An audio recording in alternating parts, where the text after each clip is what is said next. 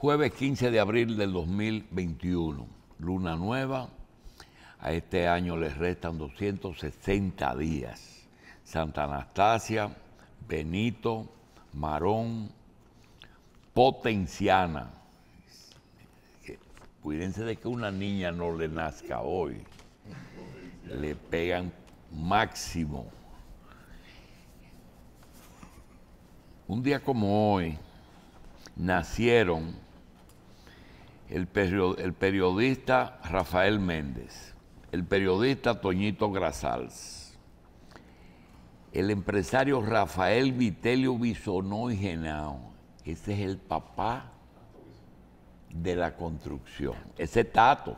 Ah. Ese es Tato. Ese señor tiene que haber hecho aquí no menos de 10 mil habitaciones, eh, apartamentos. 100 mil. Ahí está. Solamente a Balaguer de un tablazo le hizo 6 mil allá en la Caoba. Santiago Morela, Ana Victoria Vargas Monción, Eladio, ay mi querido don Eladio, Hotel Tropicana, ay Dios mío. Hotel Tropicana, doña Miriam y Eladio, un abrazo. Clara Isabel Tejeda, Dolores Viuda de los Santos, Doña Luz, Doña Luz Peguero de Aquino, esposa de Juan de Dios.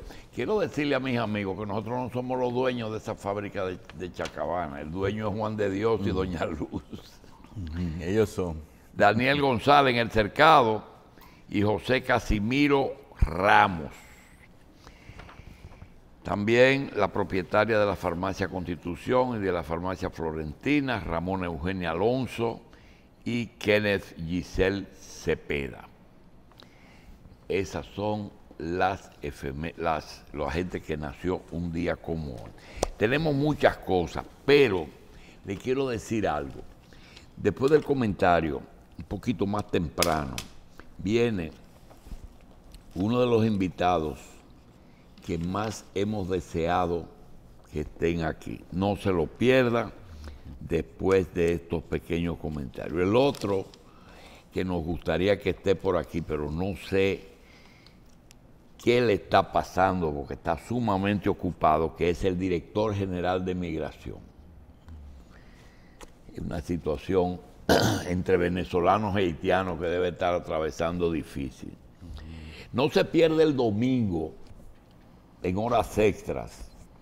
El viernes 23 en la revista y el miércoles 28 la participación de Bonaparte Gotró Piñeiro en tres programas con nosotros.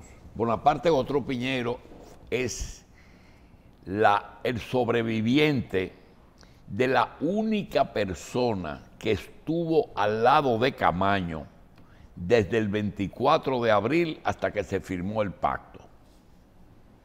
Todo el tiempo, habían muchos, Jotincuri, Aristi, pero él estuvo todo el tiempo al lado de Camaño. Va a hablar tres programas.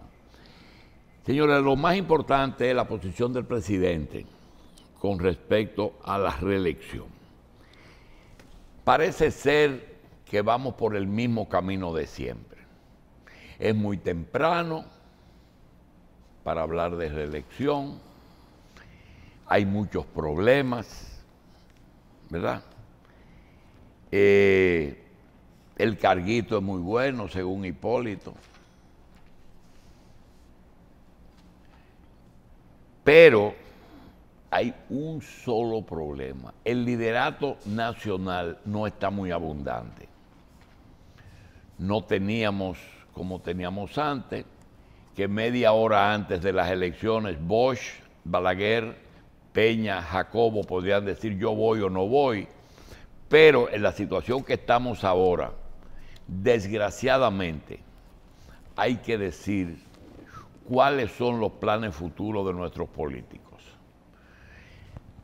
Ayer vi a Roberto Rosario Márquez que tuvo los breteles, por no usar la otra palabra, de decir que estaban acelerando una campaña, eh, haciendo una campaña política muy prematura. Aquí nada más hay un candidato que antes de dar los resultados dando ganador al PRM, ya él estaba haciendo campaña para el 2024. Y justamente es el jefe de Roberto Rosario. Hay que tener un poquitico de pudor público. Es que, doctor, también es que un asunto como tan cultural de aquí, el que las campañas sean tan extensas y siempre se esté hablando de política, que es casi inevitable. Muy bien, es cierto. ¿Cómo es posible, como dice el presidente, que apenas han pasado siete meses y ya estamos hablando de reelección. Lo que pasa es que, y mucho menos en medio de una crisis, pero, pero, la situación es que tenemos que planear el futuro. Por ejemplo, el presidente es muy prematuro, pero cuando nosotros le dijimos, en medio de la pandemia que podría resultar saludable para el país una posposición de varios meses, porque tú no le podías meter a una pandemia desconocida unas elecciones generales. No, no, eso tiene que ser porque la constitución lo prevé. Ah, entonces no era prematuro. No era porque eran las mm. elecciones y, estaba seguro el triunfo. Lo que pasa, doctor, es que mire, usted me supera por mucho en años y quizás puede hablar con más propiedad que yo de lo que le voy a decir. Yo desde que tengo uso de razón, cada vez que yo veo dos o más PRDistas juntos, solamente hablan de política. Entonces, eso es, algo que, no se cambia de la noche a la mañana. Pero es que los PRDistas tienen la particularidad de que siempre han estado en la oposición y su única esperanza es la política es normal eso. Es nada más hablan de política. Oh, Abajo de la mata. A que, los PLDistas en los últimos 20 años no hablaban de política. No de dinero. Ni querían que nadie hable de política, sino de cuarto. Señores, eh,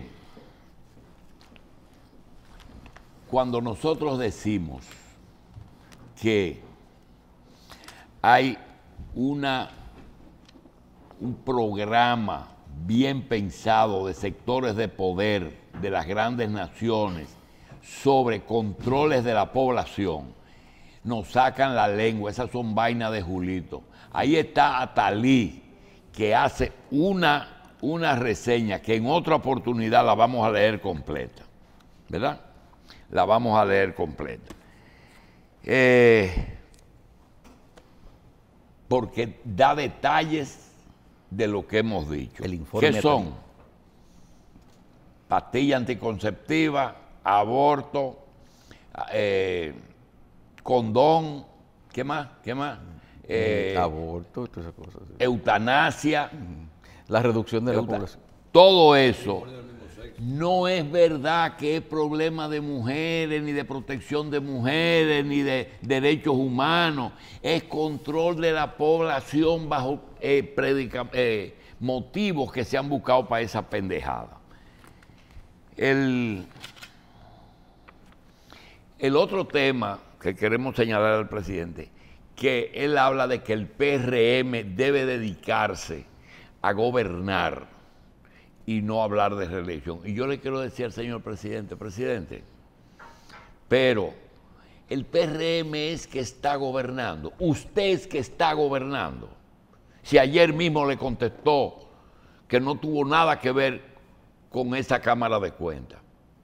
Esa Cámara de Cuentas, que por cierto yo no sé quiénes son, yo nada más quiero hacer una pregunta en beneficio de toda la Cámara de Cuentas si las cámaras de cuentas le dan seguimiento a las declaraciones de bienes de los funcionarios. Eso no es función del impuesto interno, eso es función de la Cámara de Cuentas, revisar la declaración de, de, de bienes.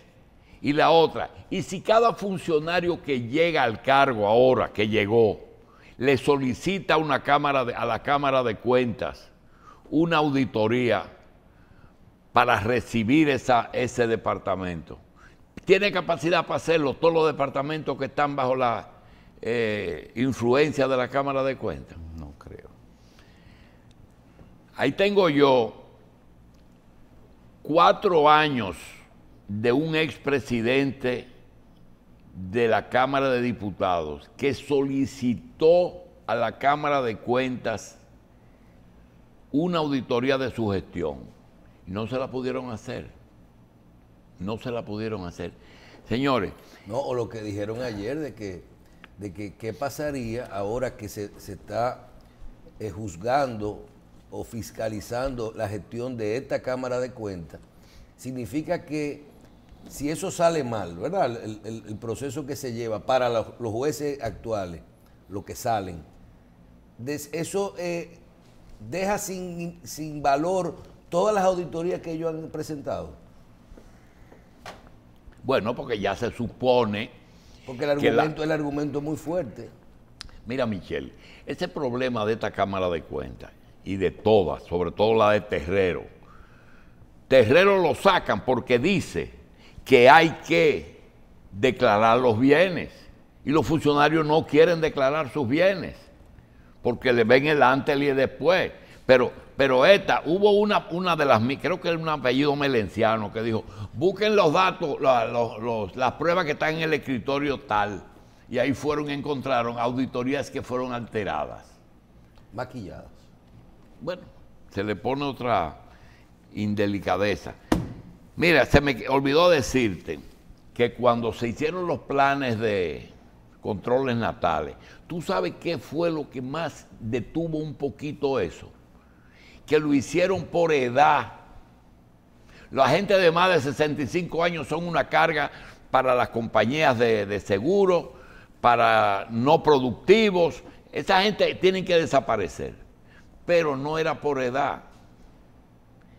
Porque era por, por consumo. Ah, ah porque el consumo tú no lo puedes parar porque para la economía.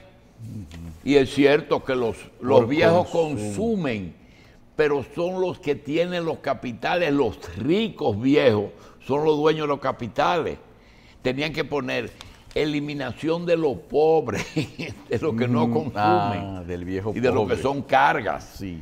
Bueno, esos son temas que se van a hablar. Hay una persona que nosotros queremos solicitarle que hagamos un horas extras, que es el, licenciado Pelegrín Castillo. Es el dominicano que más claro está con el tema de los controles de la población, conoce la historia de esto. Y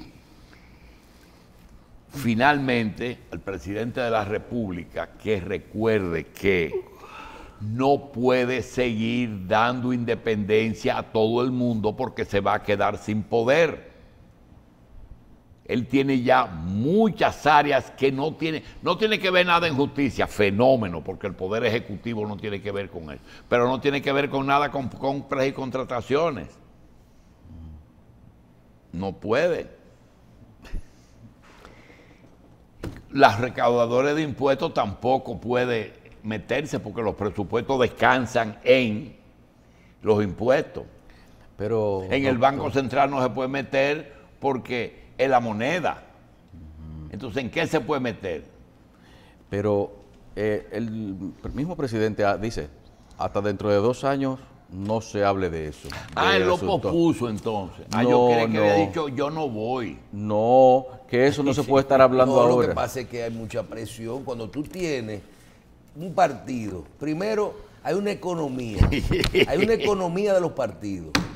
oye, oye, eh, te voy a dejar, te voy a dejar, pero oye, lo que pasa es que ya hay gente que ve que pasó un año y dice, coño, me voy a quedar sin trabajo pronto, hay que armar una reelección grande. No solamente, no solamente los que están sin trabajo que están presionando, sino la gente que vive de la política. La cantidad de gente que vive de la política aquí en todos los partidos Óyeme, tú viste lo, que dijo el otro día Danilo en una cosa del, del, comité del PLD. ¿Qué dijo? Lo cara de la política, lo, la, la campaña más costosa. Tú sabes lo que tienen que repartir cuatro años. Cuatro años.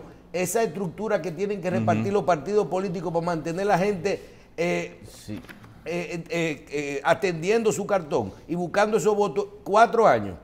Como cambió la cosa. ¿Tú crees que la gente ya vota por el empleo, por la esperanza? Hay que darle las dos cosas. Pero también comenzar temprano a hablar de unas aspiraciones políticas implica, o en el circunstancias actuales, consolidar la alianza con quienes se tienen ahora, pero también existe el tiempo suficiente para fortalecer lo que puede ser su plataforma, que es el mismo PRM de aquí a allá. con esa teoría. ¿Tú sabes cuántos dominicanos, tú te crees que el PRM nombró 25, 50 mil PRMistas sin trabajar para mantenerse trabajando en el PRM en Cali como estaban los otros en Nominilla?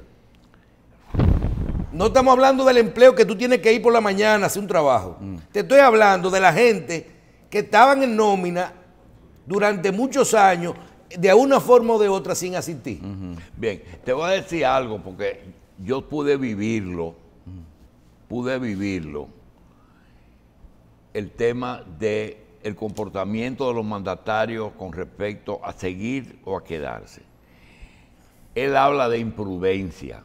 Los presidentes no son imprudentes, pero le quiero decir algo él dijo que una imprudencia hablar de reelección tan temprano. Y yo le quiero decirlo al presidente. Y le voy a hablar por la edad que tengo y los años que le llevo. Que no toque ese tema, por una razón muy sencilla. Si el presidente toca ese tema y le pone en la cabeza al PRM y le pone en la cabeza a los dominicanos que él no está en eso, yo te voy a preguntar, ¿qué candidato tiene ese grupo para seguir en el poder? No tiene Ah, no tiene, ¿verdad? No tiene. Está bien, ya. No más preguntas. No puede, es el único que puede sin problema, no tiene que modificar constitución, porque eso de los estatutos, eso se resuelve en cinco minutos de los estatutos del partido, ¿verdad? Por eso fue que Atuey y a Hipólito pelearon, porque se supone que el PRD tenía una tradición antireeleccionista. sí, un estatuto. Sí, pero también el PRM, como salió con la, con la eh, huyendo del, del PRD, lo que hizo fue que copió los estatutos para no tener que modificar nada, pero en esos estatutos había muchísimas, muchísimas aberraciones. Señores, llegó nuestro invitado y vamos pues a hacer una... No se lo pierdan, ¿eh?